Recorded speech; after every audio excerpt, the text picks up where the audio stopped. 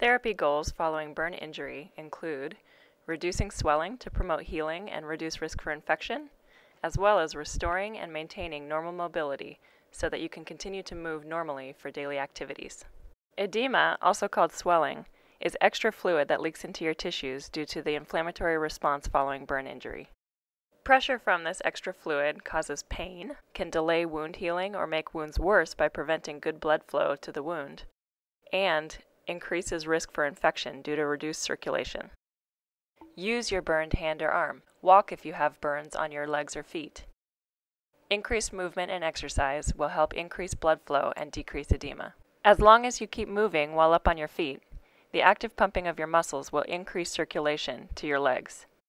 Avoid static standing, use of assistive devices, or sitting with your feet on the floor in order to prevent pooling of edema in your legs and feet. Elevate your burned hand or arm when resting or walking. Swelling will increase due to the pull of gravity if you hang or swing your arms by your sides while you're walking.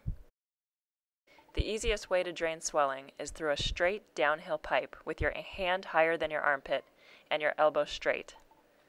Active fist squeezes, while your hands are elevated, will act as a pump to help push the swelling out. Keep legs elevated when not actively walking. Again, the easiest way to drain swelling is through a straight downhill pipe, so you want to have your feet higher than your groin with your knee extended.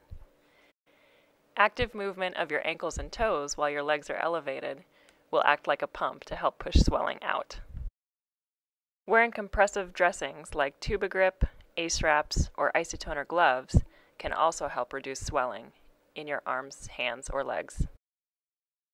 Wounds tighten as they heal and scar.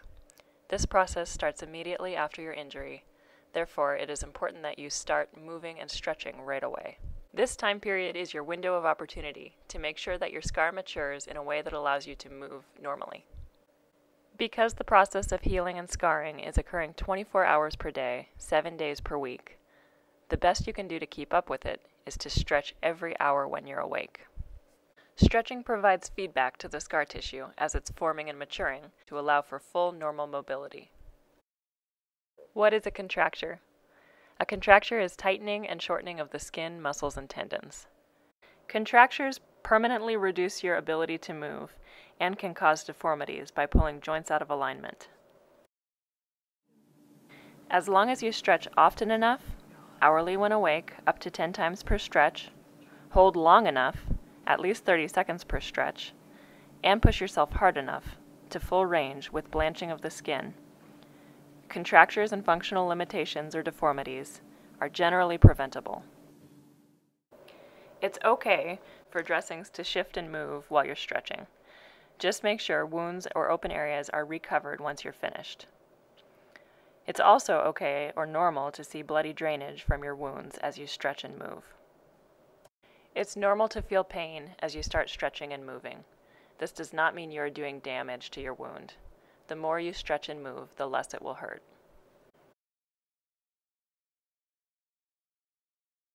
Here are some key points to remember. Keep moving and doing your everyday activities.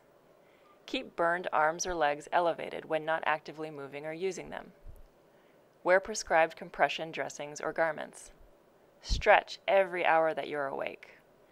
It's normal for bandages to move when stretching. It's also normal to see bloody drainage on your bandages while you're stretching. Pain while you're moving and stretching is normal. You are not doing harm.